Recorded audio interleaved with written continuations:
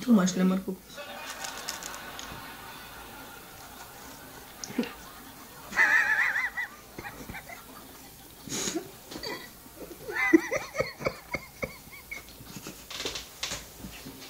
Moja ręka pyszna zaj.